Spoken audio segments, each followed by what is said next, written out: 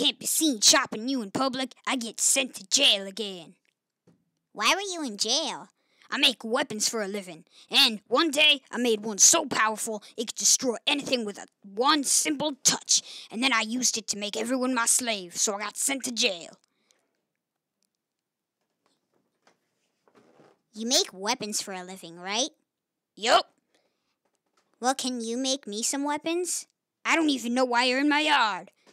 I've got a teleporter, and someone hacked it, and now he takes me everywhere besides my home. And I landed here. Fine, I'll make you some weapons. Come on. I found the perfect one for you. What is it? It's some sort of whacking stick.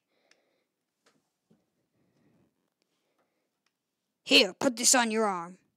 What does it do? Whenever you flex, it will make your weapon super powerful. And this, only use it in emergencies. Well, now I just need to find my teleporter. What does it look like? It's just a big black box. I have a big black box in my backyard. It's been there for five years. Come look at it. Maybe it's yours. Five years. Yep, that's it. Well, before you go whacking people with them weapons, remember, violence is not always the answer. Well, see ya. It just closed by itself! Ah! Have fun in the desert, Steve.